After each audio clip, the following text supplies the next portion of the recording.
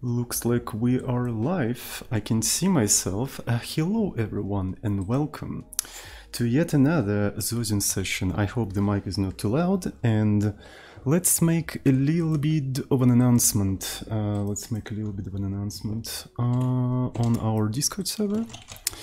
Uh, so this is gonna be um, actually a red circle live on Twitch. And what we're doing today is we adding support for the string literals for our compiler. Okay, so it's going to be https twitch uh, twitch.tv slash tsoding, uh, and it's going to be pinged. There we go. So that's what we're doing today. And um, we continue to develop our language, which is called Porth, which is basically Forth, but implemented in Python. It's not really Forth, it's more of a like inspired by Forth, uh, but it's implemented in Python nonetheless. Um, so uh, you can find the source code of this language in the description if you're watching on YouTube or if you're watching on Twitch, you can find uh, this thing in the uh, in the chat. So, all right, let's take a look at this entire thing. In the previous stream, uh, we edit, uh, we actually sort of uh, proved and confirmed that the language is uh, Turing complete by implementing Rule 110. Right, so this is how Rule 110 looks like in, a, in, in this language. And let's take a look if it works or not. Hello everyone, hello uh, Bitstream, Supini, Knafli, Iguduk, hello, hello, welcome, welcome everyone.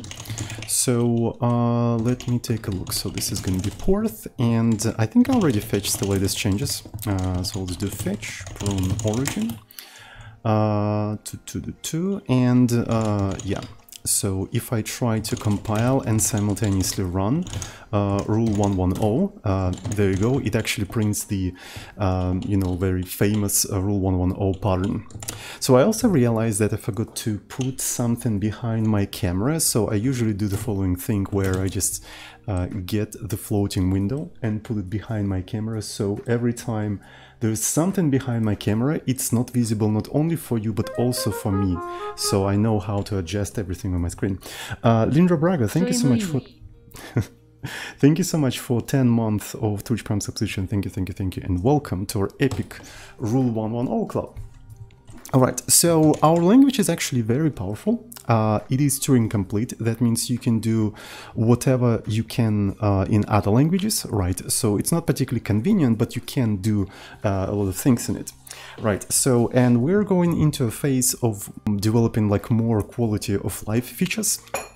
And uh, one of the things that we're missing in our language is uh, string literals. There's literally no string literals. And if you want to write something like hello world uh, in this language, you'll have to do it like this.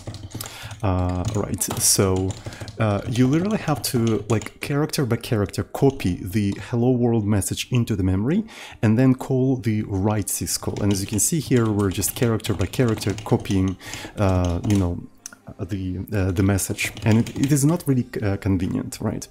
So i think the time has, has finally come to implement some sort of a support for string literals right so the question is how string literals are going to be implemented in this specific language? This is actually a very good question.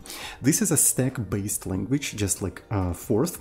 And Forth uh, does also support string literals, but it supports them in a really weird way. So there is like a separate word dot quote uh, that sort of starts um, you know, parsing of the string or something like that. I, I never understood how like string literals work in Forth, and I don't I don't know, I don't want to implement them like this. Uh, what I want to have is essentially you just put a, a string literal like this, uh, like you would do in any other language, and that essentially pushes the address of the beginning of that string to the stack. So basically doing something like this is similar to doing something like this, right? When you put a number, it pushes that number to the stack. When, uh, and when I put, uh, put a string in here, it will put the, um, the address of that string on the stack as well, right? So, and uh, the string itself is going to be located somewhere in the, in the static memory, right? So every time you write something like this, it will reserve a little bit of space in the static memory and we'll just put it there. And this is going to be the command to put the address uh, onto the stack so you can do, I don't know, like right operation on this entire thing, if you know what I'm talking about. Uh, hello Manasome, hello Thresh5, Supinic 4 and Cell 4, Twostep, hello, hello everyone, how are you guys doing? So, um, yeah. But here's an interesting thing. Uh, quite often, we not only need to know the um, the address of the beginning of the string, but we also need to know the size of the string. So we need some sort of way to know the size of the string. And primarily we need that for write syscalls right? If you take a look at the write syscall uh, in Linux specifically, or in POSIX generally, I would say, uh, it accepts three arguments. It accepts the file descriptor, basically where you want to print that string, then the beginning of the string, and then the size of the string, right? So to be able to write uh, strings with the write syscall, we need to know its size, right? And I was thinking, how can we implement that? Um, so and uh, I came to a conclusion that maybe when you provide the string literal, it not just pushes the address on uh, onto the stack. It will first push the size uh, of the string, right? So it's going to be the size of the string, and then the address. So a single operation pushes two things onto the stack simultaneously: the size of the address and the address of the cell. Not, not the size of the address, the size of the string and the address itself. Right, that way, uh, then you can provide the std in um, and uh, then the number of the syscall, and then you can perform the syscall uh, to uh, syscall write, right? And the entire hello world is gonna look like this, right? So um, because the first thing that you have to put on the stack is the size of the string, then uh, the string itself, then the standard input. So essentially like this, but in reversed order because it's a stack-based language, right? So eh, because uh, of course is stack-based, first thing has to be this, and then this, and then this. So to achieve this sort of look, look and feel uh, of the write syscall, I think uh, we're gonna make string literals to actually push two things on the stack instead of one. Does it make sense? Um, right, I think I think it's a relatively good solution, right? So you simultaneously get the size of the string and the string itself. And you, if you don't need it, um, I don't know, maybe you can do something like swap, uh, which will uh, swap the size of the string and the address and then just drop this entire thing and you get only uh, only the string, but uh, you don't know its size. Quite often you would need the size of the string so to, you know, to do boundary checks. Um, yeah, it's actually a good point. Like quite often you do need the size of the string, so it makes sense to actually, you know, have it in here. Uh, does it make sense? Um, mm, mm, mm. Is Forth a low-level language? It's pretty low level as far as I know. Mm -hmm. um, okay, so let's go ahead and implement this entire thing, I suppose. Um, unfortunately, uh, we'll have to do um, a lot of refactoring, not a lot of refactoring, but uh, enough refactoring to the way we parse everything because our Lexer is not really designed to uh, work, to support string literals at all. So, and one of the interesting problems that we have right now is that we don't have a separation between the tokens of the language and the operations of the language. Right, you see, uh, when we grab the uh, the source code, like rule 110 source code, right, and we split basically everything by words, right, and then we iterate through these words and we straight up convert them to operations, to the operations of the language. Uh, and there's no intermediate like tokenization step, basically operation equals token, which in my opinion makes it kind of difficult to work with, because um, in reality we have a lot of operations, but we only have like a few kinds of tokens. Um, nice lot, thank you so much for 15 months of tier 1 subscription. Sojin Comrade indeed. Thank you so much for 15 months of tier 1 subscription and welcome to our uh, Epic Porth Club. All right, so uh, yeah, so right now we don't really have that many kinds of tokens. All right, if we take a look at the tokenization, so I think it's some, some somewhere lex file, um, and uh, yeah, where it is. Uh, I missed it. So the function is called parse token as OP. So token in this case means just like a word, right? Um, and the first kind of a token is basically a word, right? So it can be plus, minus, uh, something that represents the operation, right? So something that represents operation. And the second kind of token is an integer. And as you can see, there is like a huge discrepancy between how we parse those things, right? So words are just like we look them up. If they're equal to something, it straight up turns into, into operation. Uh, if it's an integer, we're trying to convert it into an integer. And if we cannot do that, we just throw an exception. So, and um, we are about to add uh, a third kind of token, right? We're about to add a third kind of token, and that token is going to be a string. So we have a lot of operations, but the kinds of tokens, there is like two, and we're about to add the third one, uh, integer, string, and word. Right, so maybe the first thing that I want to do in here, I want to introduce the notion of a token, right? So introduce three kind of, uh, two kind of tokens, uh, word and integer, and uh, separate tokenization phase and the phase of converting tokens into operations. Uh, so that's going to be basically the idea, right? So this is going to be the first step, and after that we can uh, add support for for the strings. Does that sound good? Sounds Gucci? Sounds Tamaguchi? Um, Are strings similar to comments? Uh, no. So, uh, let's go ahead and introduce the enumeration uh, for our nation. I, I, even put a to-do in here, right? Introduce the notion of the tokens, right? So uh, let me go ahead and create a separate branch for this entire thing. So we're gonna have string literals. Uh, right, string literals, and uh, I already made some changes in here, so I'm gonna just remove this entire stuff.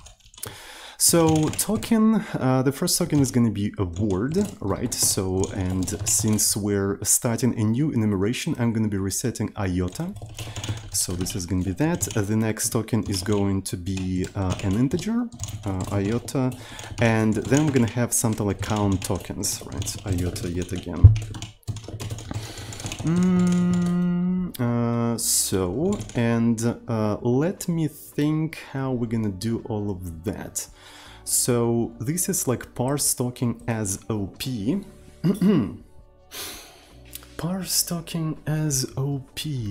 And uh, what I'm thinking is that the parse token as, uh, as OP is used in a single function, right? So it is in fact used in a single function.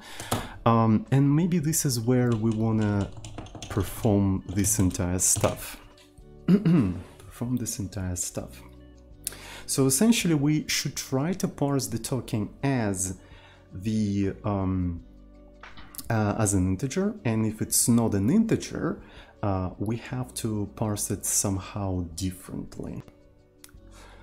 Uh, we have to parse it somehow differently. So I'm thinking, do I want to actually start doing that uh, in this function or do I want to do that in a separate function? Because if I start modifying this function, it will break everywhere. And I do not particularly want that. Right, so I do not particularly want that. Mm -mm. So we have a lex file. Uh. So here is the token. Mm -mm. So maybe I'm gonna actually do it like that. So I need some sort of a function that accepts the token, right? So rather like the text of the token, text uh, of token, right? So it accepts text of token. And the first thing it tries to do, it tries to convert this entire thing into um, an integer, right? So it tries to convert it into an integer. Uh, and then if it catches some sort of a, uh, error, right? So this is going to be accept uh, is it accept uh, value error, right? So this is a value error. Uh, it will essentially return uh, this as a word, right? So it's going to be token um, token word, and it uses text of token. Uh, right, and otherwise it will return uh, token integer, and this is going to be uh, the value, right? We might as well actually inline this right away right? Because uh, if this entire thing will throw an exception, uh, it, it, will never be returned, right? So then uh, we're gonna return this thing instead. So this is essentially what I wanna do in here. And in fact, I wanna just wrap this text of token uh, like this. And I need to come up with a name for this function. I'm not sure how to call this entire function. If you know what I'm talking about, uh, all right, so Mm -mm -mm so lex file, so lex line. Um, maybe this could be something like lex word, probably.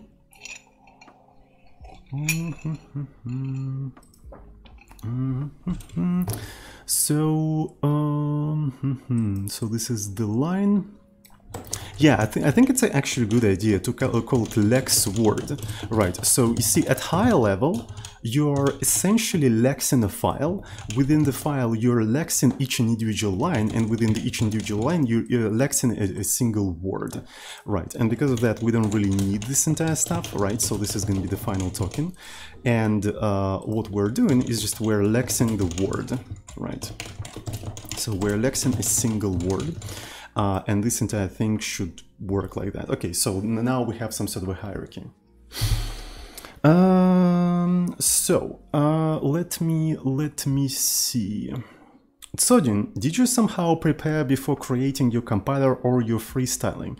Well, I did in fact prepare for the streams. I prepared for the stream for 15 years while working as a software developer. So yes, I have prepared. I have 15 years uh, of preparation. Um, all right. So uh, let's continue. So let me see. What I want to do actually in here is um, I want to uh, load this entire thing. So uh, this is going to be Porth there we go. Hopefully that will load everything correctly. And I want to just check how can you lex a particular word, right? So if I put hello in here, as you can see, it puts hello and zero as an indicator that it's a, it's a word, all right? If I put something like 69 in here, it puts one in here, indicated that it's a, it's an integer, right?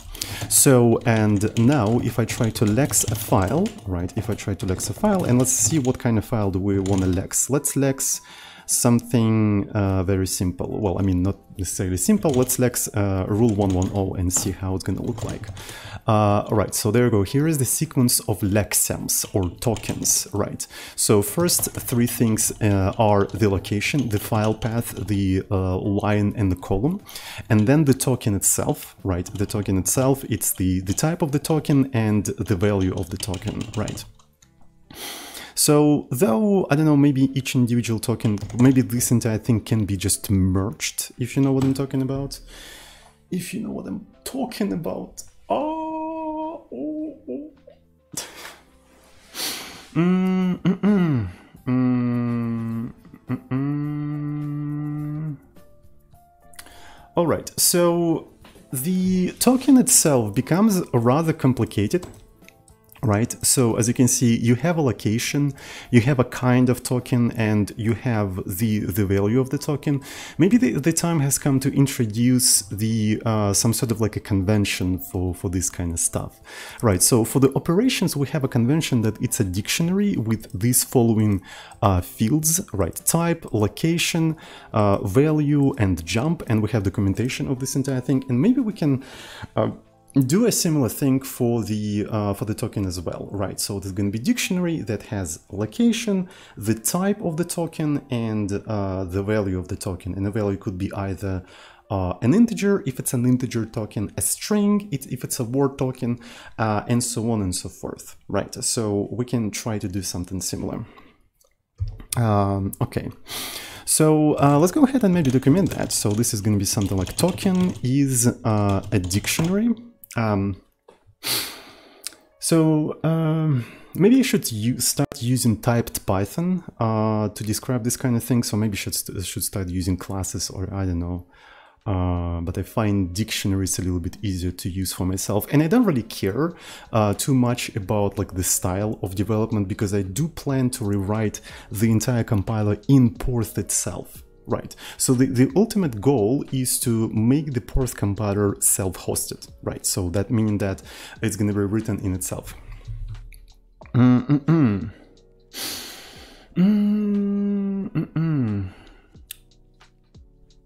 All right, so token is a dict, a gotcha hyper, uh, with the following uh, possible fields, right? So the first one is uh, type, uh, the type of the uh, of the token, right? One of token uh, word, token integer, etc. defined below, right? Mm, define below location, location of uh, the token within a file. Uh, I might as well actually copy paste uh, this entire thing. Uh, right. Mm, value. Uh, the value of the token uh, depending on the type of the token uh, of the token right? So for token word it's uh, a string. Uh, for token uh, token integer it's int. We might as well actually use the convention of of python right? So it's str right? For this one it's int and so on and so forth. So the token is basically this kind of thing all right. So we documented that, and when I lex uh, a word, right, I lex a word, uh, uh-huh, uh-huh, so this is the file pass, and this is the token. Uh, mm, so the question is, where should I even do all of that? So here I only have a column. Mm -mm, mm. Mm -mm so we can have something like token type, token value, right? We can have a token type and token value, and this is where we can start uh, doing the final preparation, right? So this one is essentially going to be allocation, right? Then we're going to have a type of this entire thing, and the type is going to be a token uh, type, right? So here's a token type, and then here we're going to have uh, a value which is going to be a token value, right? So this is how we uh, do all of that, and this is going to be a sequence of dictionaries, right? Um, cool.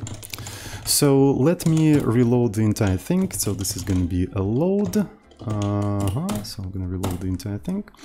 And uh, lex file. Uh -huh. And there we go. So as you can see, this is a sequence of dictionaries now, right? So we, it has different types. The location is basically a triple, and then the value, depending on the value, we have this kind of thing. Um, so uh, we lex a file and now here's an interesting thing. So parse token as OP. So now parse token should expect the token that is a dictionary. You see, uh, before we expected the token is like a tuple, but now we have to expect a completely different thing. Uh, Alright, so it does row plus one and column plus one, um, adjusting everything. So um, maybe I should do plus one in here somewhere. Yeah, I think I should do that in here. So here is the uh, here's the column, right? So this is going to be column plus one.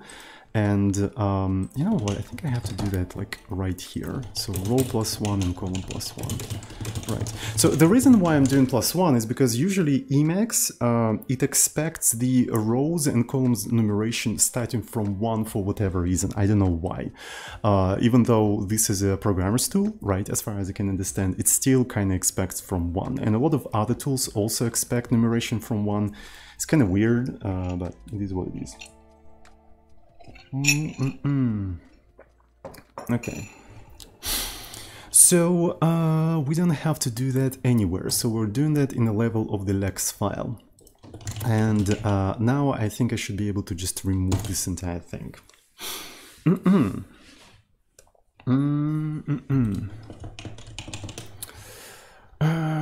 Vim also does one index character numbers. Maybe it's some old forgotten standard. Yeah, probably. Uh, so for a long time, I think the zero-based indexing was not really standardized uh, among programmers, right?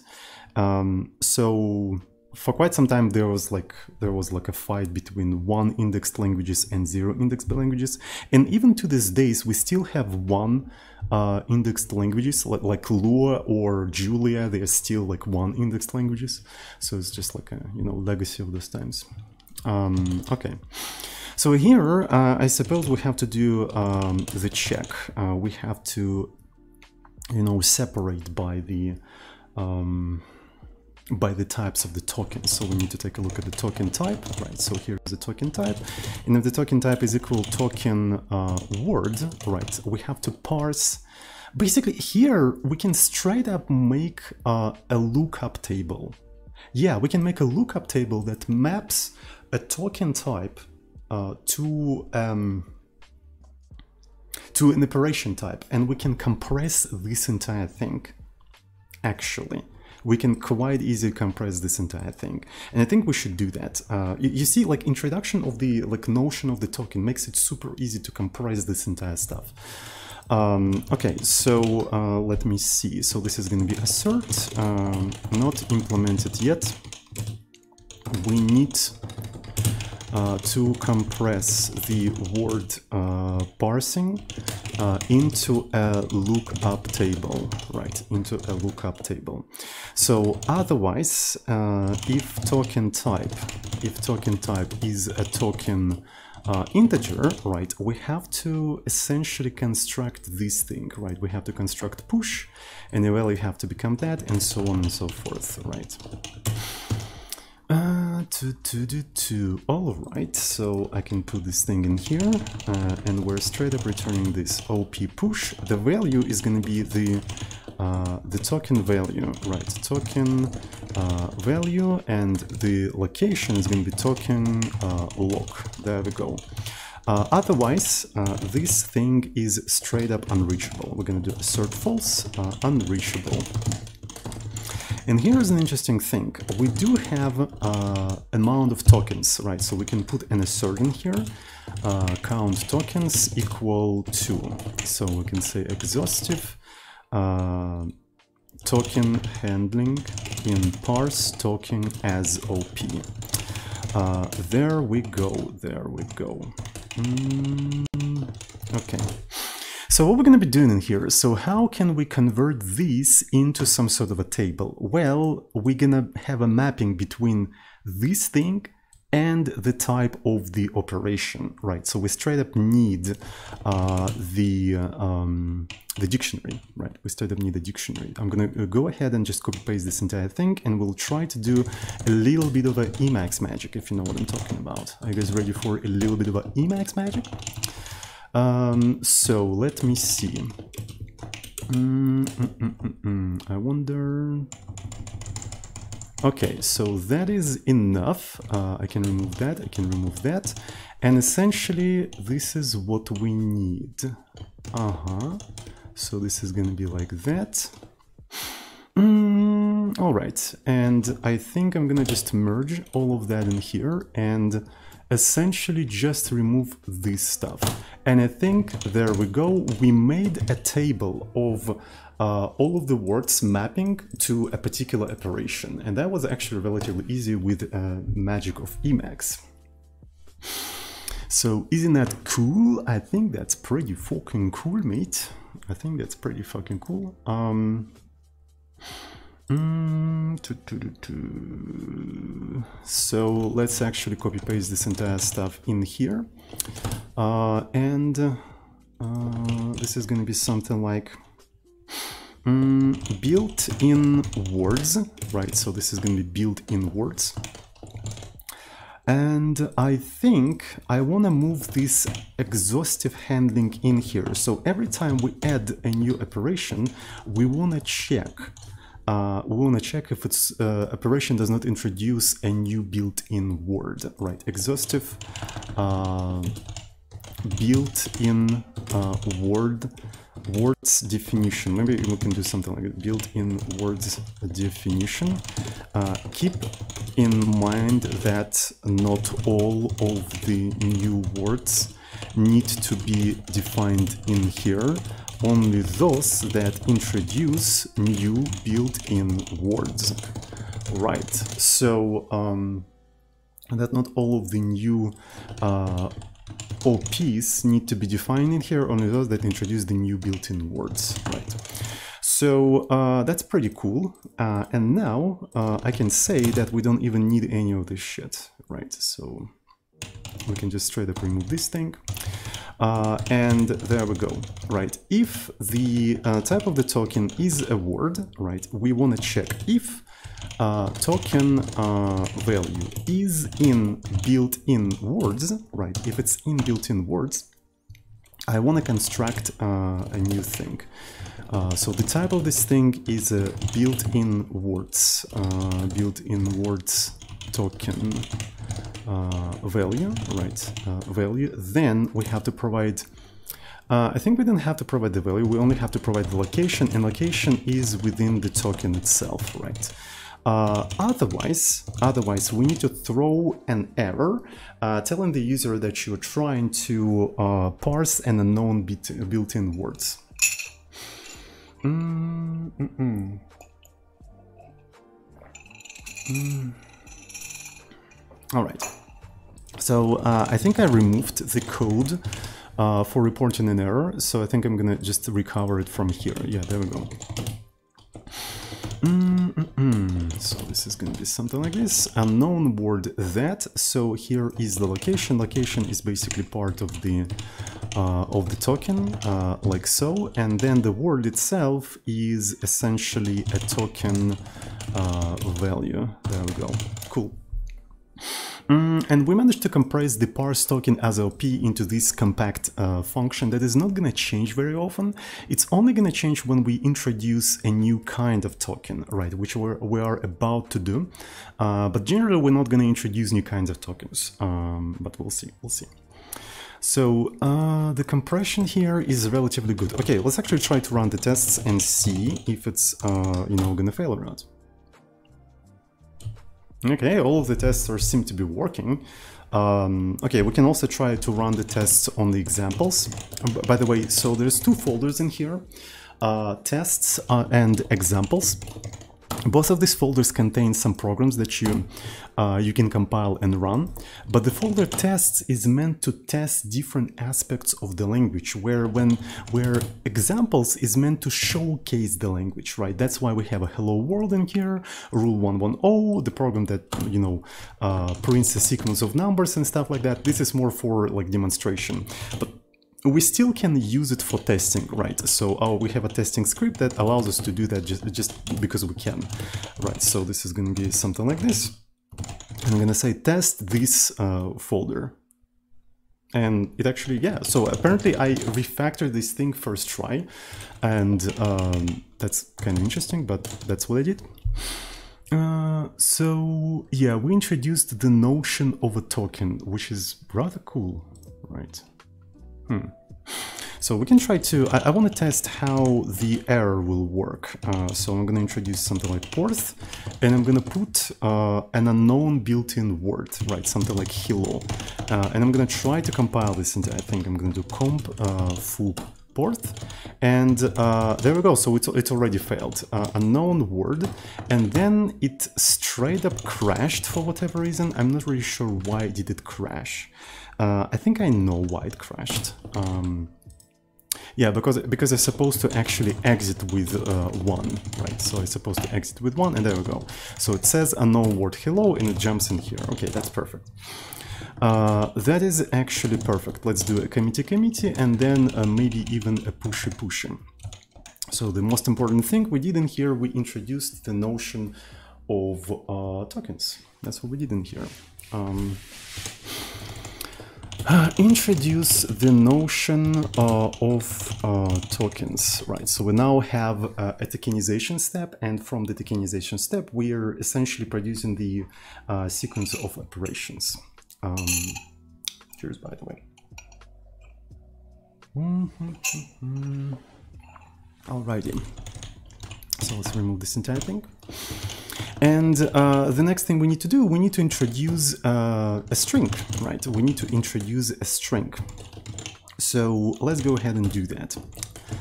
Uh, So here's the token word, here's the token integer, and let's straight up introduce token str, right? So it's to be iota, and that should fail in the places where we assert count tokens, and let's see how it's going to work. So uh, I'm to just try to run the test. I'm to sneeze as well, by the way, just a second.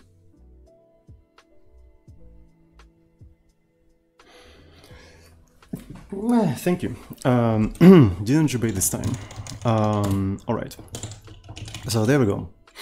Uh, this is what we have in here. Uh, so this is going to be count tokens. So this is going to be three, right? Because we're trying to handle uh, the strings.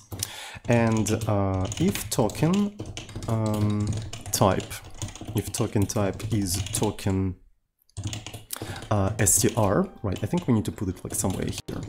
Uh, we need to introduce a new uh, operation in here. So we could have actually uh, did two pushes, uh, but I don't think it's gonna work really well. Um, so what I'm thinking is we need to introduce new kind of operation that allocates the uh, the string literal. So uh, something like push int, right? push, uh, not push int, but push str. And because we have push str, we also need to introduce push int probably. So we'll have to rename these two things. Uh, and this thing is going to be value, uh, token, value, uh, location, and token, uh, location, right, token location. And then in the interpreter and in the compiler, we're going to interpret these things like slightly differently. In case of integer, we're going to just push an integer. In case of a string, we'll have to allocate enough space in a static memory and put the string in there and then push the size of the string and then push the address of the string, right? So for pushing str, we have to do more things. Uh, but for now, we're gonna we're gonna do it like that. Uh, so let's go ahead and just extend the definition of this thing. So this is gonna be push int, and we are about to introduce push str. Mm -hmm. uh, all right. So let's go ahead and see what we have in here. All right, so exhaustive built-in word definition. So since we didn't really introduce a new word operation, I think we can just do uh, 36 and don't add anything in here because string does it by itself does not really introduce a new word, right? So there's nothing that needs to be done in here. So another thing is uh, here. So this is needs to be modified only if the new operation introduces a new block. It doesn't really introduce a new block, so we can just skip this entire thing. Uh, you see, these kind of asserts help us to not forget to modify important uh, places, right? Every time you add a new operation, you have to make sure that you modified all the corresponding places, and this is what these asserts do. It basically walk you through the entire code base, making sure that you edit and modify it at the corresponding places, right? So I really like this uh, kind of approach of, uh, of defining things, and I use it quite often in, in a lot of my projects, actually. Um, all right, so uh, the next one. So program simulation. In case of a program simulation, yes, now we have to do uh, an actual work in here. So uh, here we have a push, and obviously this has to be push integer, and elif uh, op uh, two, two, two, type is equal op push str, and I'm not really sure what exactly I have to do in here, so I suppose I need to uh, have a static memory I need to have a static memory in the simulation uh, and I need to put that string in there and also you need to be able to uh, have an address to that memory. So it's actually a lot of uh, different things that you need to do in here. So I'm gonna do something like false uh, not implemented yet. So I just want to continue the interpretation uh, and then I'm gonna implement this entire thing a little bit later. Okay. So what else do we have in here? Uh, I forgot to update this entire thing there we go. So now where does it fail so it fails in a couple of other places, uh, 35. Um, so it fails in the compilation uh, of our nation. Alright, so let's do this a similar thing. elif uh, op type equal op push string, uh, right, and in here I also gonna say something like not implemented yet, right, and I'm gonna go to 35, uh, 35 and it's gonna be 36 there we go. And uh, all right that's pretty cool. Um, we added support for new token type and um, new operations. But since we don't use any of these operations and any of these tokens uh, nothing is failing yet right? So uh, let's go ahead and try to write a test for this entire thing. So uh, I think I'm going to put it into the stack, right? So this one is a push integer, right? So this is a push integer and another one is going to be uh, something like uh, push str, right? So this is going to be push str. Uh, let's go ahead and do that. Mm -mm -mm so I want to do hello world, right? So this is going to be hello world. Then uh, stdin, uh, write syscall, and then we perform syscall 3. There we go. So this is what I want. Um, right, we, we don't really parse this yet, but this is exactly what I want. Uh, all right, let's try to run this, and uh, there we go, unknown word hello, right? As you can see, it doesn't know how to uh, parse this kind of thing, and it basically recognized this as a separate word, right? So it recognized this thing as a separate word, which is obviously not correct. So we have to go to our lexer and uh, just make modifications accordingly, somehow. So since our lexer is uh, line-based, we probably won't be able to have string literals that contain new lines, if you know what I'm talking about. Right, because the first thing we do in our lexer um, let me see, let me see. So lex file, right, so here's the lex file. Uh, we open the file and the literally the first thing is we split everything by lines, right? So we read lines, then we enumerate them, then uh, we have a function that consumes a single line and then splits that line into words and so on and so forth. And maybe within this thing, we can look at the word that we got, right? Look at the word that we got. And if it starts with um, double uh, double quote, we're gonna change the mode, we parse this entire thing and we look for the second double quote and we're gonna consider that the whole token. Uh, and that means we won't have uh, string literals that may look like this, which would be kind of useful, don't you guys think? I think like I want to be able to support this kind of shit, right? And if I try to print it, it will literally print these new lines here as well. Sometimes I quite often in like in other languages miss this sort of feature. I think like C doesn't support this kind of stuff. Uh, I'm pretty sure, but it would be cool if we supported this kind of thing. Uh, but implementing that could be a little bit annoying, right? So because we'll have to rewrite the um, tokenizer completely uh, because we also need to keep track of the new lines differently and so on and so forth. Um, also no double quote in strings. Uh, this is a completely orthogonal problem to what I'm saying right now. The double quotes within strings is solved by a thing called escaping. Right, so, and it has nothing to do with having new lines within the strings, right? So it's just like, I, I don't know. Uh, anyway, so, um, let me see, let me see. um, to, to, to let me think. So that means we'll have to um, we'll have to get rid of this entire thing, right, and just read the whole file, right, we can we have to read the whole file, and then craft a function that is similar to lex line, but uh, it doesn't work on a single line, it works on a whole string. Right, maybe this function is going to be called something like uh, lex str, right, and it will accept the text. Uh, maybe we can call it text, right, lex text. Um, uh, lex text. Mm -mm -mm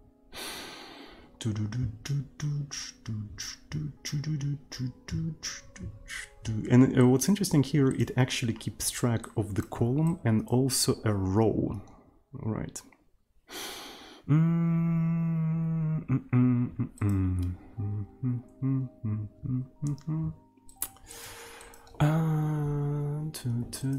So the initial row is going to be like zero, right? So this is the row zero.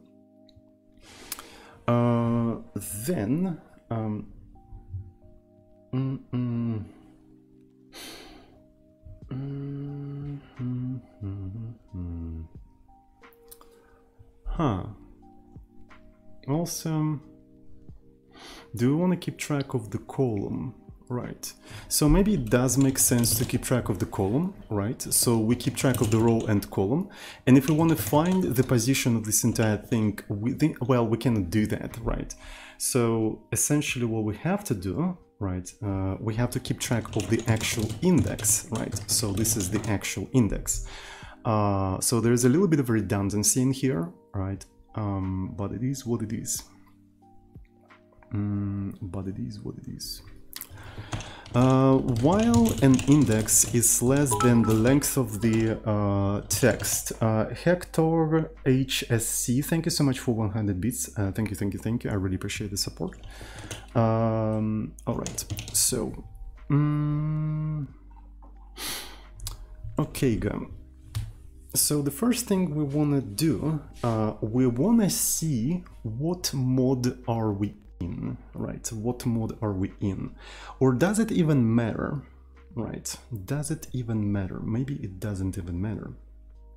Right, so uh, maybe we want to have something like index end, and what we're trying to find, we're trying to find the uh, the next non uh, non-space, right? So this is going to be text, this is going to be the index, and lambda x x is space, um, right? Mm -mm -mm Find column. Um, uh huh. Uh huh. Mm. Oh yeah, I see. So I should actually do something like uh, like this. Uh, oh my god, I, I lost the, the thing that I copy pasted. So this is gonna be that. Text 0 lambda uh, lambda x not x is space, right? So basically we're trimming all of the white spaces in here. Trimming all of the white spaces we also need to keep track of the columns and rows and that makes it so uh, so difficult.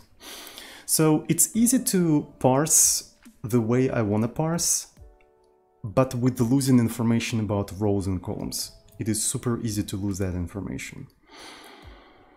Mm, it is extremely easy to lose that. Mm, mm, Mm.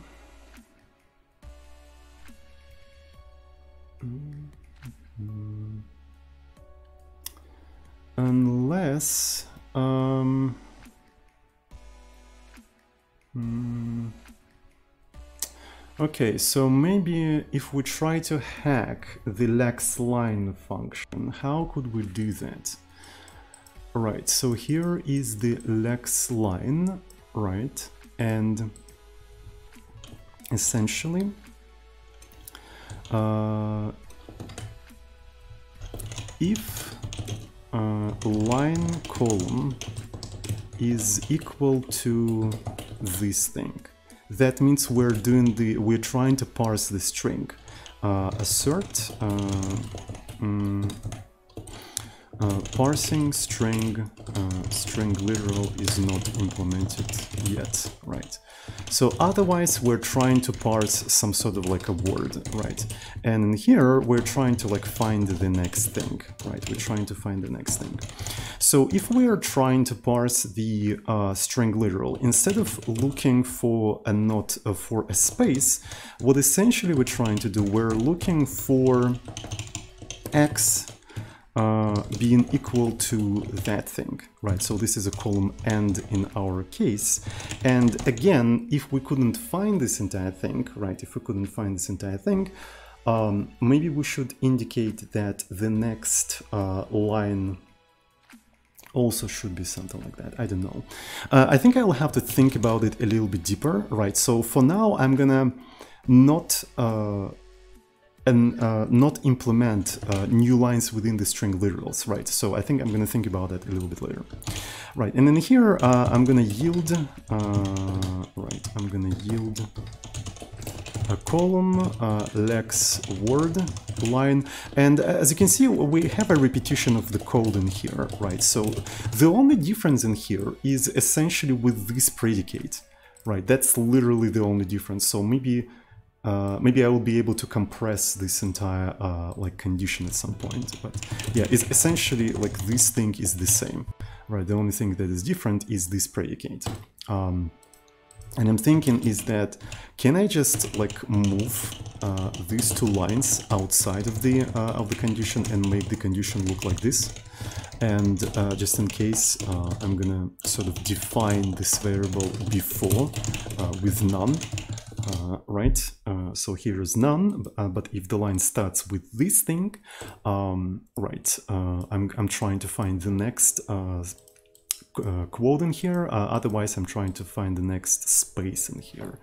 Um, that makes sense. Okay, that's that's pretty cool.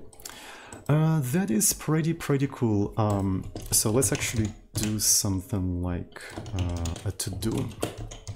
Uh, Lexer does not uh, support new lines uh, inside of the string literals. I'll, I'll, think how we can implement that within the current architecture. Um, so, and uh, let me, let me see. So I need to maybe reload the entire thing. Right, so let's actually try to reload.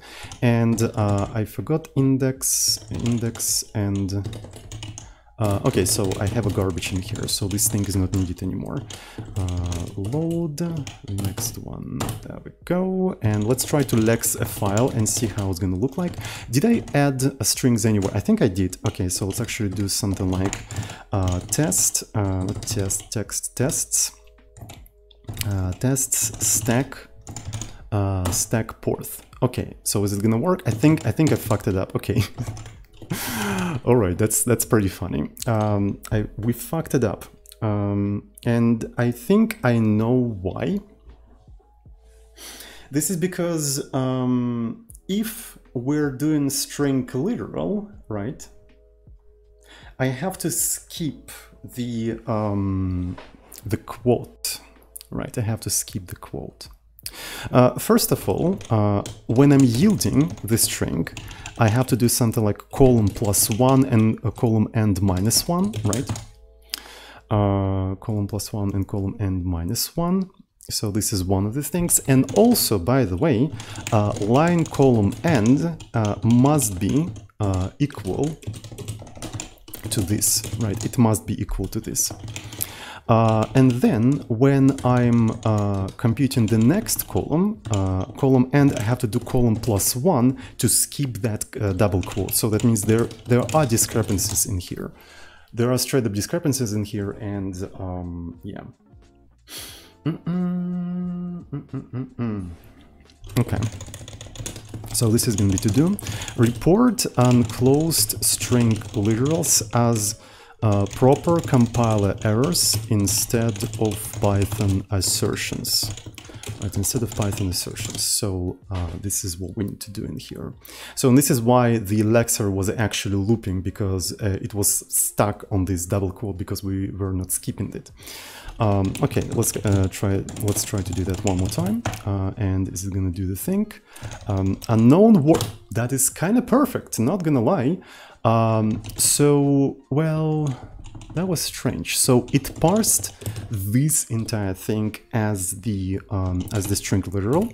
So uh, what I need to do in here? Uh, mm, mm, mm, mm. mm. So here's the column. This is gonna be the okay. I see. So it has to be column plus one then. Yeah, it has to be column plus one, and because of that, okay, okay, okay. So I think we're almost there. Uh, are we gonna finally parse this entire shit? Unknown word. Um, mm, uh huh. So this one is not needed then. Uh, is it gonna work now? Okay, and no. Okay, this is uh, this is actually perfect. This is actually perfect. So um, Yeah. So we finally managed to parse the string uh, as it is. Uh, but it tries to actually recognize it as a word, which is kind of sus in my opinion, right? Because it needs to be recognized as a, uh, as a string. Uh, it needs to be recognized as a string. So token type, where does it take a token type from? Uh, where do we set a token type? So we're trying to lex a word.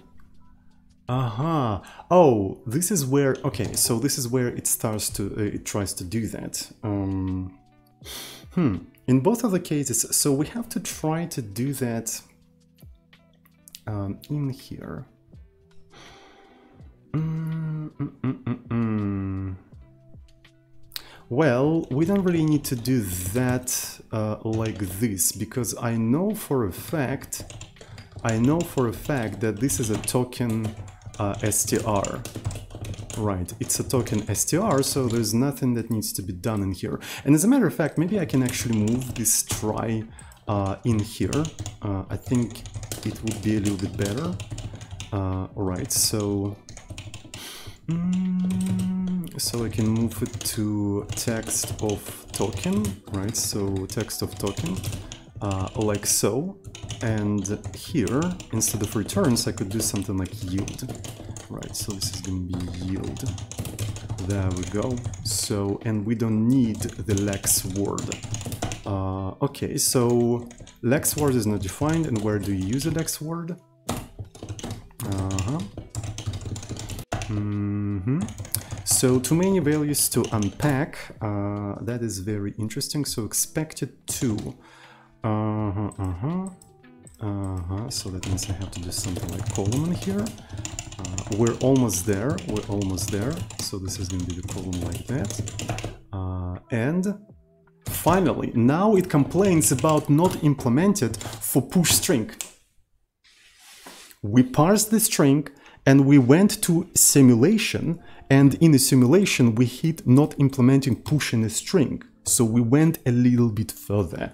We went a little bit further. So we already passed the parsing stage. We're in a simulation, a simulation stage, which is freaking perfect. So the question is, how are we gonna push all of that, right? So because Okay, we can push the size of the string. It's not not a uh, not a big deal. So I can do stack append, right? So this is a stack append. I take op uh, op uh, value, right? And that way I just push the length of this thing. But now I need to push the address. I need to push the address, and the question is where I'm gonna push that stupid address. Uh, I need a place where, like somewhere in the memory, right? Somewhere in a simulated memory where we're gonna keep all of that. Um, we can reserve a little bit in front of the memory for the strings. Uh, right. So we can just reserve these strings uh, like uh, in memory up front and every time the user does op mem, right, we actually uh, append not zero but the um, the memory after the reserved for the strings, right? So you know what I'm talking about? Uh, so I can actually draw that. I think. I think you can draw that. So this is the memory, uh, the simulated memory. So before, we were always like giving the beginning of the memory at zero, right? So this is the zero. But now we can reserve some memory for the strings, right? And the memory now starts somewhere here. And every time you refer to a string, we're, we're going to be given like a, a, pointer within like somewhere here. Uh, right, so something like that. And it's to be uh, going to be kind of similar in the compiled mode as well. Right, but in the simulated mode, I don't know, it's kind of sus that that memory is going to be sort of limited. Um, but maybe that's all right. Uh, one of the things we can do actually, maybe we can uh, have something like str capacity, right? 640. Uh, right. So this is str capacity and uh, str capacity like this. There we go. str capacity. Mm. what's interesting is that what if we want to print this entire stuff in the loop, right? Mm, mm. You have enough space on the table to use tablet. I wasn't using tablet, by the way. I was using mouse because I was too lazy to actually bring the, the, the tablet in here. Anyway, so um, mm, what uh, what I was doing. so what if we have uh, the um, the loop, right? Something like this. Uh, so want to change to O Pascal, right? O Pascal, 10 0, while um, to dupe less, uh, we're gonna do do, and in here I want to do high, right? High, 1 1 syscall 3, and then uh, 1 plus, and then end.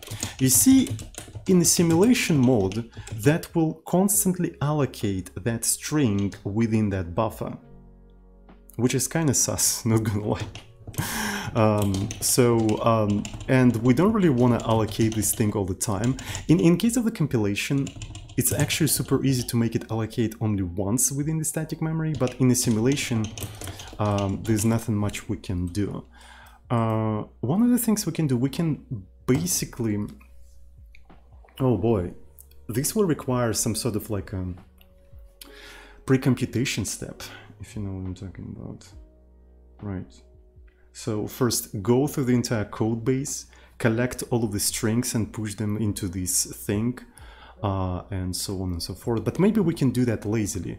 Basically, uh, if you encounter the string, and there is some marker that indicates that the string was already compiled in there. Yeah, it's a dynamic language. We can actually do that. We can add a new field within the um, within the OP, right? So if OP str, we can have something like if um, uh, allocated, right? Uh, allocated in uh, OP. That means we're going to be actually appending. Um, uh, let's put it like this address, right? So this is going to be the address. Uh, stack uh, append, right? This is going to be op address, right? So if there is already address for for that string, we we're just going to push that address. Otherwise, um, we're to allocate the stuff within the memory, right? So and add this address in there. Okay, so this is actually a pretty good solution. This is actually a pretty good solution, and I really like it. Um, okay. Mm -mm -mm so, and a memory, OP memory, by the way. Uh, OP memory. Uh, so instead of zero, we have to put str uh, capacity, right? So we're offsetting this entire thing. Uh, so essentially what we're doing, we're simulating a virtual machine in Python, which is the dumbest thing you can imagine, but that's what we're doing, right? So you're using an interpreted language to interpret a virtual machine. Like, why would you do that? I mean, like, we do that because uh, we're going to get rid of the Python eventually, but I mean, anyway. Um, so we want to have something like str size, right? So how much we already allocated within the strings. Uh, right, and essentially, uh, here we're going to do the following stuff. OP address is going to be equal to str size. And then str size plus uh, OP uh, value length, right? OP value length.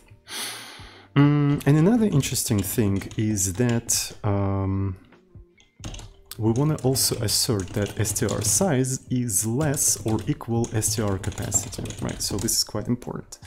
Uh, string uh, buffer overflow, right? So we don't want this kind of thing to happen. And that's pretty much it, actually. Um, so, yep. Mm, so we also... Uh, we also need to append this address after we've done all of that, I think. So, and in here we're gonna do uh, IP plus one. So what I'm thinking is that if address is not in the OP, uh, we're gonna be doing this thing. We're gonna uh, sort of create this address and then uh, we're gonna do it like that. There we go. Okay, th that's perfect actually. First we push the, the value, then we check if we already compiled this entire thing.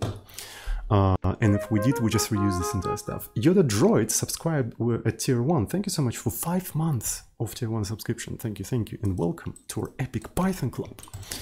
Uh, Alright, so let's actually try to compile this entire thing and see if it's gonna work.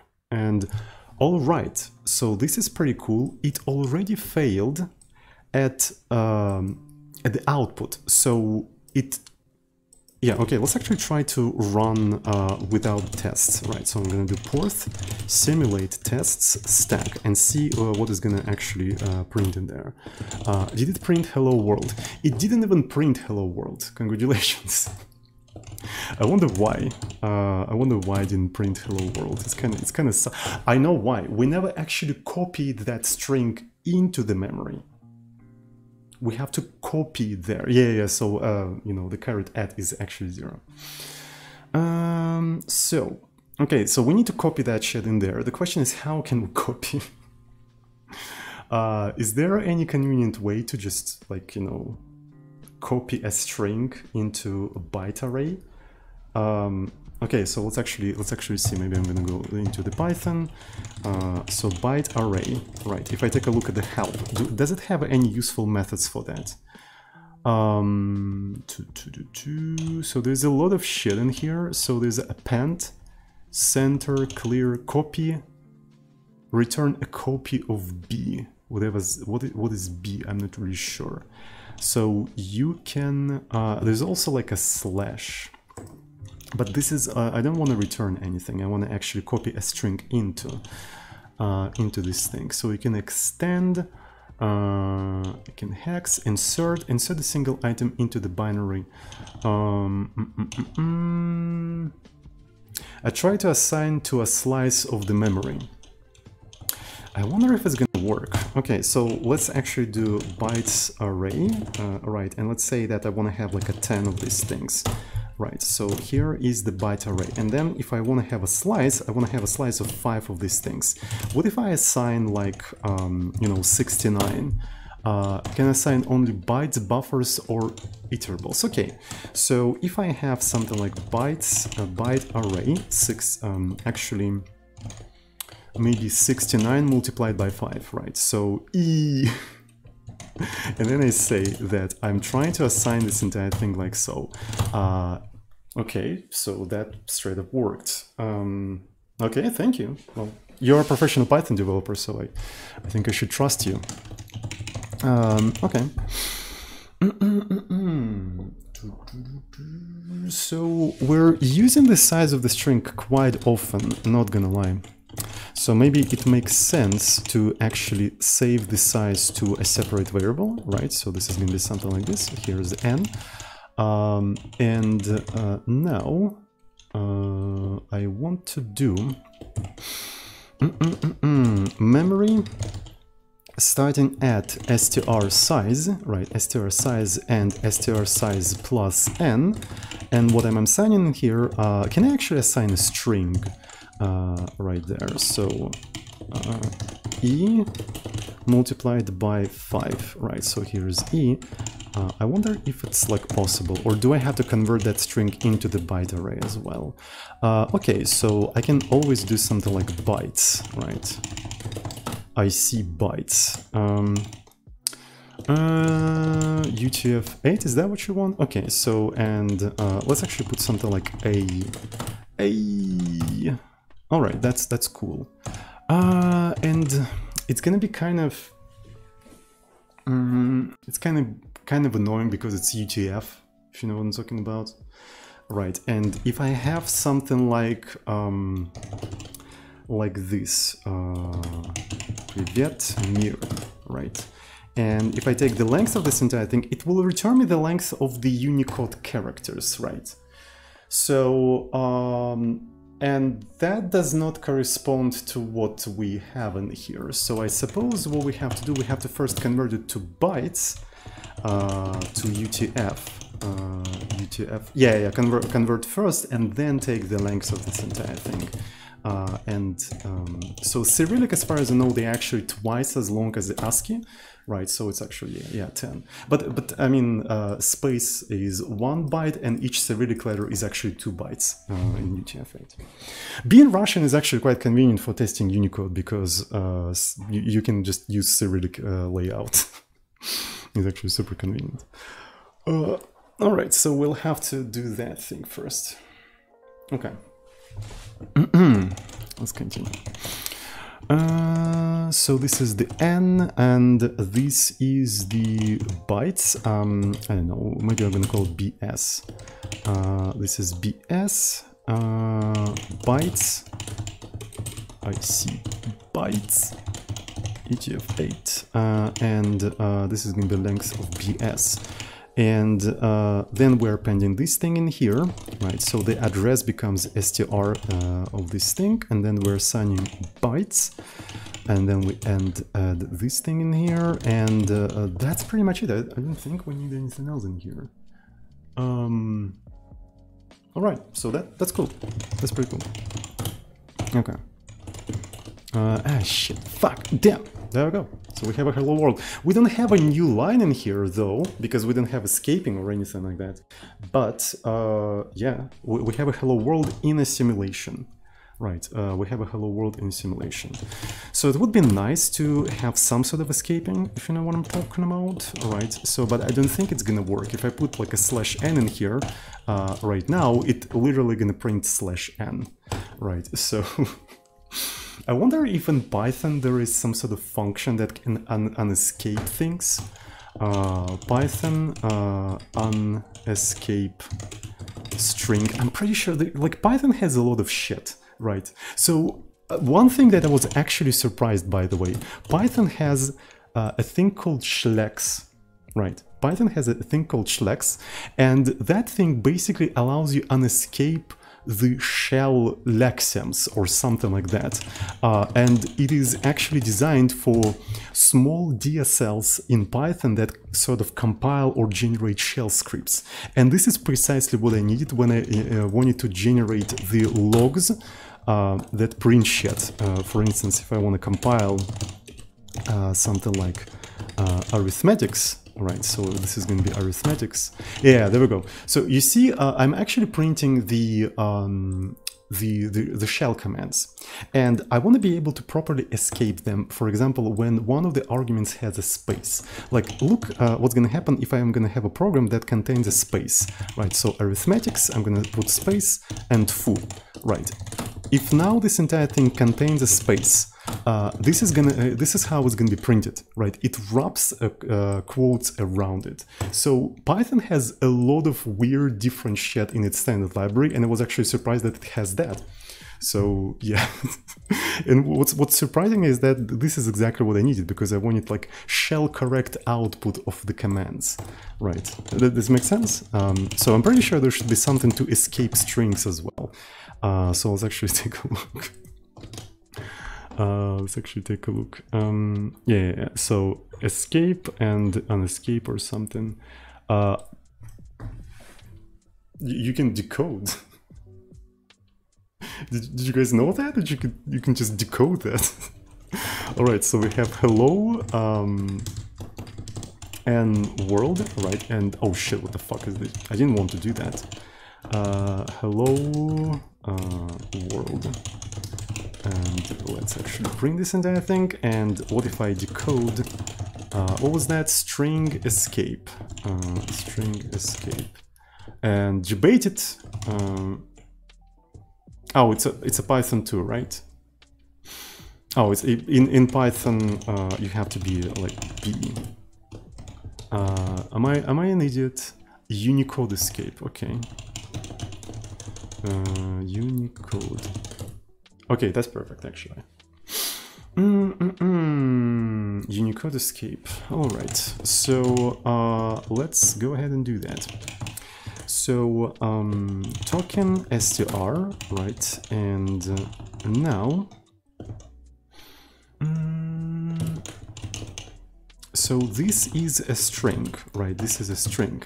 can I convert, oh, but if I have a string, right, if I have a string, what I have to do, I have to convert it to bytes, right, first, and then, um, can I just do something like escape then? Uh, oh, wait. UTF-8. Uh, it's kind of sus, not gonna lie, but I guess it's fine.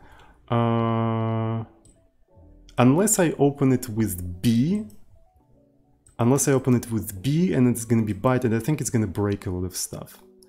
So I'm not gonna do that right now, right? So what I'm gonna do, I'm gonna just convert it to bytes, UTF-8, and then I'm gonna decode bytes with Unicode uh, Unicode escape, and I'm gonna put it to do in here. Um, so converting uh, text of token to bytes and back, and back uh, just to unescape uh, things is kinda sus, uh, not gonna lie. Uh, let's try to do something about that. For, for instance, uh, open the file with uh, RB in Lex file. Right, I don't want to do it right now because I'm not sure how exactly it's going to break everything in here. Right, so I'm going to put it to do in here and just forget about it. Uh, un unquote. Okay, thank you. Uh, all right. So Yesu, Yesu, Yesu, Yesu, kawaii freaking desu.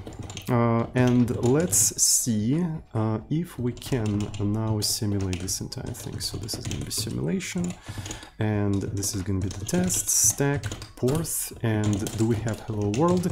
And that did not work for some reason. I wonder why. I wonder why. Mm. Mm, mm, mm. This is because I'm an idiot. It needs to be done up there. Alright. This needs to be done up here. Uh, Alright. Uh -huh. So... -hmm. Alright, alright. And in here, well, I might as well actually uh, save this entire thing to text of token. Alright, and then this is going to be bytes, text of token UTF-8, and then decode, um, Unicode, uh, Unicode escape, Unicode escape, and uh, let's try to, there we go, so now we have a new line. Perfect. Mm -mm. Uh, but the codecs uh, module has pretty much what you want. Isn't like decode uses that module? Uh, I'm pretty sure it does. But I mean, I, I, don't really care much about this kind of stuff because uh, I'm gonna get rid of the Python anyway in the future. Right, so I just want to get the language to a usable, usable state, uh, and then I'm gonna start rewriting it in, in itself. Right, so, all right. So that's pretty pogue and let's see if the compilation is going to work. Okay, so we don't support this kind of stuff in the compilation yet. Um, this is very interesting. So how are we going to be doing all that? Mm -hmm. So, uh-huh. Mm, uh, we'll need to put the strings, right, we'll need to put the strings to uh, to a segment, to a separate segment in here. So we already have uh, a segment for the memory, so BSS segment, and I suppose we need to introduce a segment for uh, the for the strings, right? So this is going to be segment dot data, right? And inside of that segment, we're going to keep all the strings. Mm -mm. Right. So op uh, push str uh, out right uh, push. Uh, this one is actually push int, and I'm not really sure if I want to actually, um, you know, print. Well, I mean, I can print, print the string in here, uh, but here we have a push str. Um, so, and what I need to push in here is uh, the size of the string. So, and the size of the string is going to be something like um, value, value and the length, right? There we go. So this is the value and the length. And then we're gonna push that into the stack. So this is gonna be push rax. Okay, cool. So the next thing we need to do, we need to push the address of that string. Uh, so, and what's going to be the address of that string? That's a good question. Uh, so I think we're gonna have labels for each individual string in here, right? So uh, we can say that it's gonna be string like this, and um, we're gonna keep track of the allocated string somewhere here. Um, so let's call it something like str count. Right, initially it's gonna be zero. Or maybe, excuse me, we're gonna do it like that. So this is gonna be strs, and uh, we're gonna keep all of the strings in a list, right? We're gonna append the strings into into a list. Um, all right, so uh, let me try the following thing. So this is gonna be strs, and I'm gonna be just appending this entire stuff. Um, yet again, I'm sorry. I'm gonna put it in here. Uh, I'm gonna append this thing in here. There we go. So I'm, I'm appending this string. Uh, and then uh, this is going to be, hmm, I don't know, maybe it's to be len strs and we're to be pushing the string afterwards, right? So we're to have str0, str1, str2 and so on and so forth, right? Um, and that is actually it, I think. This is the whole compilation of a push string. You push the size and you push the address. Uh, and then after the entire compilation, right, after the entire compilation, we have to iterate through all of the strings and we have to put them into the data segment. Right, so this is going to be something like um, maybe index and then uh, s in enumerate uh, strs and that's what we need to do in here so this is going to be out right uh, strd uh, this is going to be something like this Mm, and this is going to be the index. And the next stuff is rather interesting because now we have to maybe represent the string as a sequence of bytes or something like that. If you know what I'm talking about, if you know what I'm talking about. So uh, if I have something like hello world, right? Uh, what I was doing actually, uh, I was trying to convert it into a bytes, right? And I converted it into bytes like this, uh, right? So there we go. And I would like to maybe represent this entire thing as a sequence of bytes, but I'm not sure. Can I convert it to a list of some sort? Right, so here is the list. Right, and maybe um, can I join everything with something like this? I'm not sure if I can do that, but uh, expected str. Well, you can always do something like map uh, and just str each individual thing in here, and that basically gives you something like this.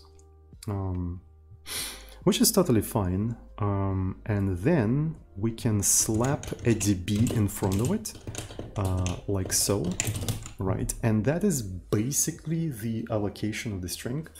So maybe to keep this, uh, this thing compact, we can just do it like that. Uh, and I wonder if instead of str we can do something like hex. Uh, there we go, so that looks even more epic, right? So because it's a hexadecimal. Um, so yeah, it's not bad. It's not bad at all. Um, all right, so let me copy paste this entire thing, and uh, I think it's going to be somewhere like this. Ah, it, didn't properly copy paste it didn't properly copy paste. Can I just... Uh, I should have copy pasted this thing. Mm, there we go. So what I need to write is this thing uh, for s. There we go. Um, so let's go and uh, try to compile the entire thing. So this is going to be compile, but we're not going to run it, right? So this is going to be test uh, stack porth and it does not compile. I wonder why. Uh, Writex exactly. Um, oh, okay, I see. It's it's a classical problem. Uh, classic rule W. Uh, keep forgetting about this shit. Um, might as well actually do something like s uh, and something like this. Uh, all right, so let's take a look at the generated assembly. Right, so uh, tests uh, stack asm, test stack asm, and there we go. We have str0 and here is the string. Uh,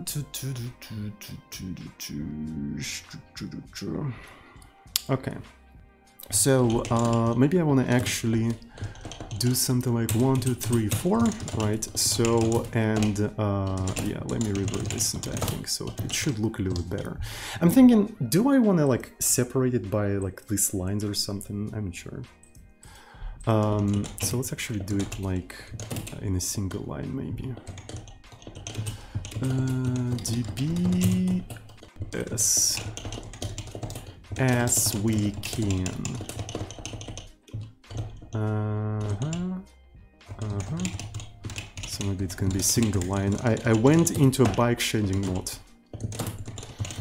Mm, so that's that's a little bit better, I think.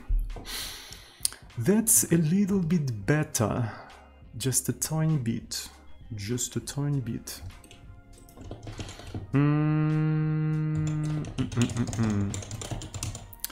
All right, so uh, let's go ahead and try to run the compiled version. Okay, and the compiled version worked. There we go. So we have a support, some somewhat a good support for string literals. How about that? So uh, yeah, let's go ahead and do a committee committee and then maybe even pusher pusher. Uh, first of all, uh, if I try to run the tests, right, if I try to run the tests, they will fail uh, because uh, the expected output does not contain hello world. What we need to do, we need to record the uh, expected output, right? So as you can see, that updated the expected output. So now we expect hello world in here, and if I try to run the tests, uh, right, so they're not gonna fail, right? So everything's fine. And uh, let's go ahead and do committee committee. So we don't need this thing anymore. Uh, so, mm -hmm. Uh, implement string literals. There we go. So now we have string literals. Uh, and one thing I want you to uh, update as well. Here in the examples, we have a hello world. And the hello world looks like this. Uh, which is pretty scuffed. And there is like a justification in here is that we don't have string literals yet, so we simply write hello world uh, character by character into memory, and then we call the write syscall. Now we don't have to do that anymore. We can just remove this entire shit, uh, just take this entire thing and just and then um, write it into uh, standard input and we're gonna use write syscall and this is gonna be syscall 3 and that is it so this is Hello World.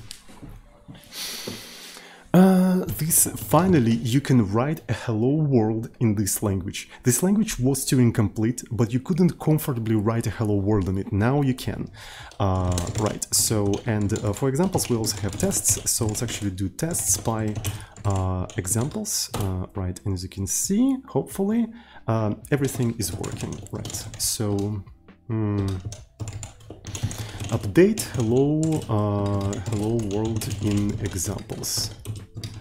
Uh, there we go. Right.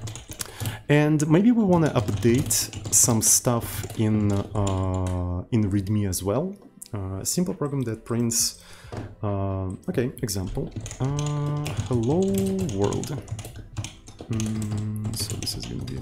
Actually, the thing that works really well uh, with our language is a Pascal mode. Uh, right, so I think I need to use Pascal. Uh, so okay, so that's fine. So and in here I'm gonna actually maybe go to hello world and just copy paste this entire thing. Um, hello world, simple program that prints that stuff. Uh, you know what I want to do in the future, by the way?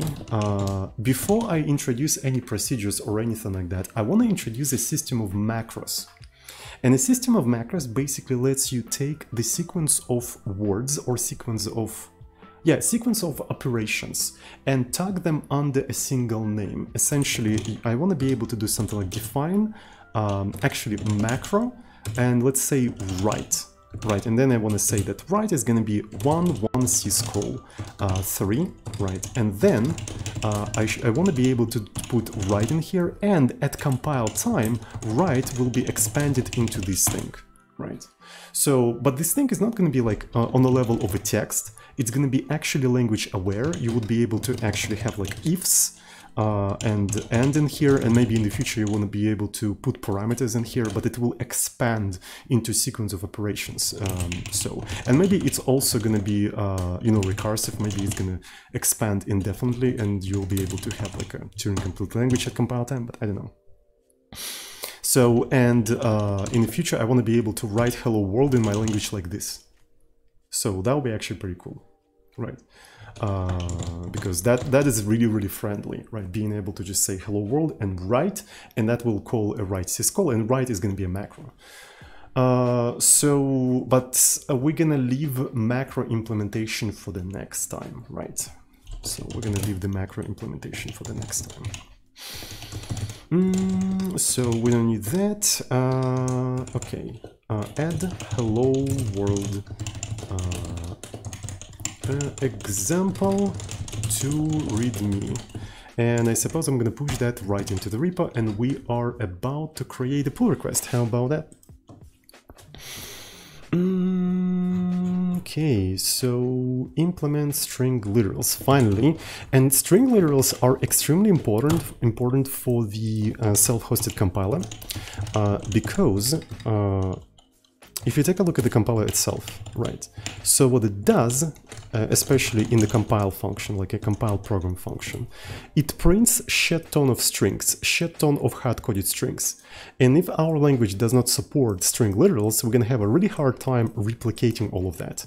Right, so as you can see, it's just like a basically a database of uh, chunks of assembly, and what we do, we dispatch between chunks of assembly depending on the tokens and stuff like that. So, and our language needs to support this kind of stuff, so we can rewrite it in itself. So, yeah. Um, all right, so I hope uh, the tests pass. I actually run the tests an example on CI. So um, let's see if everything's okay. Uh, everything is passing and we officially have a support for string literals. How about that? Isn't that cool? I think it's goddamn cool. Uh, all right. Does anyone have any questions maybe? Um, mm, in which language is he coding it? I'm coding that in Python. So this language is implemented in Python. Uh, right. So, but it's to be like um, you know, initial bootstrap. Uh, when the language is mature enough, we're to rewrite the language in itself. Uh, to, to, to, to.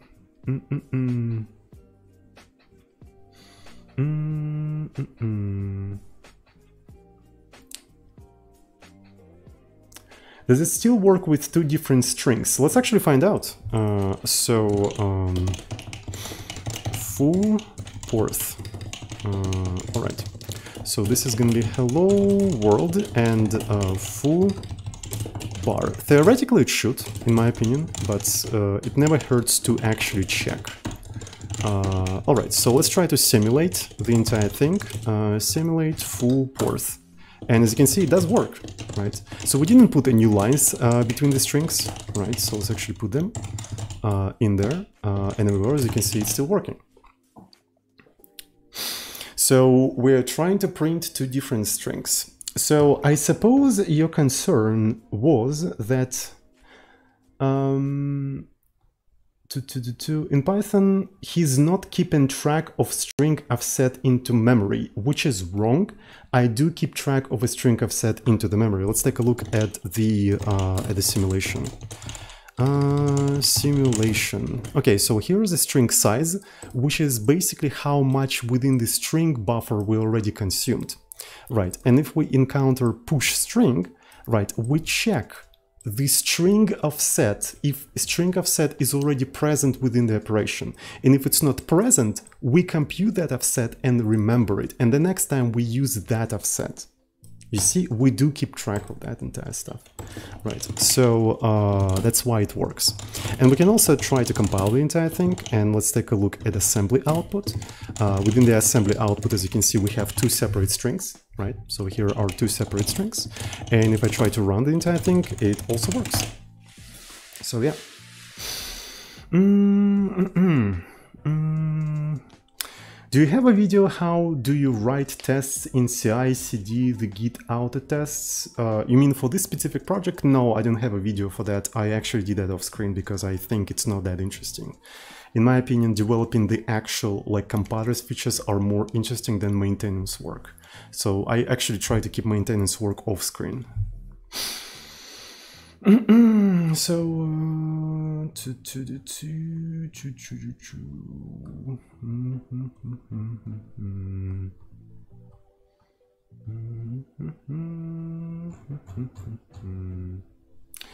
All right, I suppose uh, no more questions, right? So I guess that's it for today. Thanks everyone who's watching me right now. I really freaking appreciate that. Uh, have a good one and I see you all next time. Um, Fabulous Flow, thank you so much for uh, Twitch Prime subscription. Thank you, thank you, thank you. Uh, we have another question actually. Doing hello world write twice would create two strings both in interpreted and compiler mode. Is that the correct behavior? Uh, it is the current behavior. Whether it's correct behavior, it's up to up to debate. Um, right, so I think um, it is not optimal behavior. I wouldn't say it's incorrect one, it's not optimal one. And since it's not optimal one, it falls into the scope of optimization and optimizations is outside of the scope of the development right now. Right, so we're doing a, a lot of unoptimal decisions because we just want to advance the, the features, right? So once we have a mature compiler, only then we're going to think about optimizations. Uh, but you, you're right. R right now, if I do uh, hello world twice, right? Uh, if I do hello world twice, uh, it will create two separate uh, se separate strings. We can even check that uh, in the final assembly. right there we go. Yes, I don't. I wouldn't say it's incorrect behavior. It's not optimal behavior, but it's the current behavior. Mm. Um, all right, that's it for today. Thanks everyone who's watching right now. I really appreciate that. Have a good one and I see you next time. I don't know when, uh, so maybe tomorrow, maybe the day after tomorrow. Uh, if you're watching all of that on Twitch, check out the description. I put all of the necessary links in here, uh, specifically the link to the source code and uh, the link to the playlist uh, where um, uh, of the development of this language. If you're watching on Twitch, check out the YouTube channel where we archive all of the VODs. And um, yeah, I guess I gotta go. Thanks everyone uh, for watching. Uh, love you all.